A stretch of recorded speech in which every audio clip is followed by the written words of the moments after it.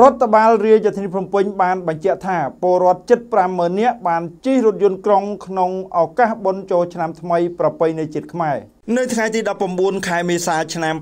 2023យោងតាមការចុះផ្សាយរបស់ក្រសួងព័ត៌មានបានឲ្យដឹងថាលោកមេតមេភក្តីអ្នកនាំពាក្យរដ្ឋបាលរាជធានីភ្នំពេញបានបញ្ជាក់ថានៅក្នុងឱកាសបុណ្យចូលឆ្នាំថ្មីប្រពៃណីជាតិខ្មែរនេះប្រជាពលរដ្ឋជិះរថយន្តក្រុងប្រមាណ75000នាក់ក្នុងនោះខ្សែ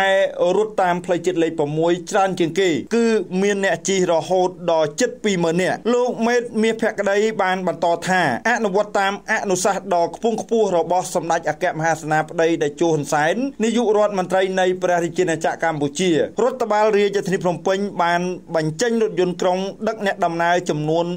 345គ្រឿងសម្រាប់បម្រើសេវាដឹកជញ្ជូនសាធារណៈដើម្បីសម្រួលដល់ការចំណាយជូនបងប្អូនប្រជាពលរដ្ឋក្នុងឱកាសបុណ្យចូលឆ្នាំខ្មែរការធ្វើដំណើរទៅលេងស្រុកកំណើតជួបជុំបងប្អូនក្រុមគ្រួសារក្នុងពិធីបុណ្យចូលឆ្នាំថ្មីប្រពៃណីជាតិដោយមិនយកប្រាក់ឡើយសូមបញ្ជាក់ថាកាលពីព្រលឹមថ្ងៃទី13ខែមេសាឆ្នាំ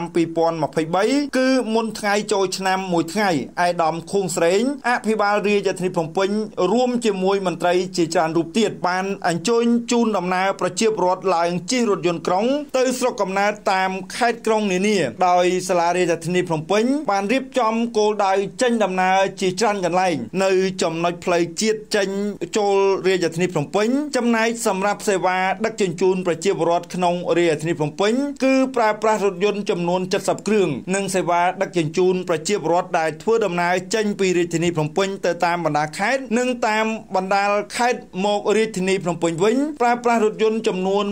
275គ្រឿងដែលមានទីតាំងនិងគោលដៅចេញដំណើរនិងពេលវេលាច្បាស់លាស់ក្នុងនោះមានផ្លូវជាតិលេខ1មានភ្នំពេញកណ្ដាលភ្នំពេញព្រៃវែងរថយន្ត5គ្រឿងមានចំណតនៅស្ថានីយ៍ចំណតវាលស្បូវភ្នំពេញកណ្ដាលភ្នំពេញស្វាយរៀងរថយន្ត5គ្រឿងចំណតនៅមុខទីបញ្ជាការកងរាជអាវុធហត្ថរាជធានីភ្នំពេញផ្លូវជាតិលេខ2ភ្នំពេញកណ្ដាលភ្នំពេញតាកែវរថយន្ត5គ្រឿងទីតាំងចំណតនៅមុខទីបញ្ជាការកងរាជអាវុធហត្ថរាជធានីភ្នំពេញផ្លូវជាតិលេខ3ភ្នំពេញកែបភ្នំពេញកំពតរថយន្ត5គ្រឿងទីតាំងចំណតនៅដីឡូ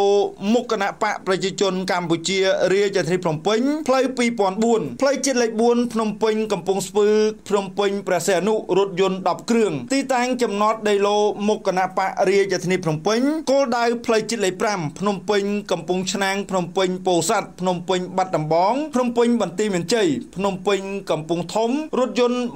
118គ្រឿងទីតាំងចំណតគឺនៅស្ថានីយ៍ចំណតសួនច្បាររិស័យកែវផ្លូវជាតិលេខ6ភ្នំពេញសៀមរាបរថយន្តចំនួន100គ្រឿងទីតាំងចំណតគឺនៅរង្វង់មូលទេពមច្ឆាជ្រោយចង្វា OCIC ផ្លូវជាតិលេខ6និងផ្លូវលេខ7ភ្នំពេញកំពង់ចាមភ្នំពេញត្បូងឃ្មុំរថយន្ត10គ្រឿងទីតាំងចំណតគឺនៅរង្វង់មូលទេពមច្ឆាជ្រោយចង្វា OCIC ឯកឧត្តមខួងស្រេងបានអំពាវនាវដល់បងប្អូនប្រជាពលរដ្ឋឲ្យចូលរួមធ្វើដំណើរតាមរថយន្តក្រុង របស់រដ្ឋកោស្វ័យយ័តដឹកជញ្ជូនសាធារណៈរាជធានីភ្នំពេញដែលប្រកបដោយសុវត្ថិភាពនិងផាសុកភាពឯកឧត្តមបានបន្តថាក្រមមលុបនៃសន្តិភាពនិងក្រោមការដឹកនាំប្រកបដោយភាពឆ្លាតវៃរបស់សម្ដេចអគ្គមហាសេនាបតីតេជោហ៊ុនសែនធ្វើឲ្យប្រទេសជាតិមានការអភិវឌ្ឍគ្រប់វិស័យសម្ដេចតែងបានគិតគូរដល់សុខទុក្ខនិងជីវភាពរស់នៅរបស់ប្រជាពលរដ្ឋយើងគ្រប់ពេលវេលាសិប្បកម្មសាប៊ូសិទ្ធិធី មានផលិតសាប៊ូបោកក្អៅសាប៊ូលាងចានសាប៊ូជូតអិត ដោះបង្គន់សាប៊ូបោកក្អៅម្សៅ និងទឹកក្រអូប ដែលមានគុណភាពល្អនិងតម្លៃសមរម្យគ្រប់គ្រងផលិតផលខ្មែរជួយឲ្យប្រជាពលរដ្ឋមានការងារធ្វើ Facebook Page កូនខ្មែរសាប៊ូខ្មែរ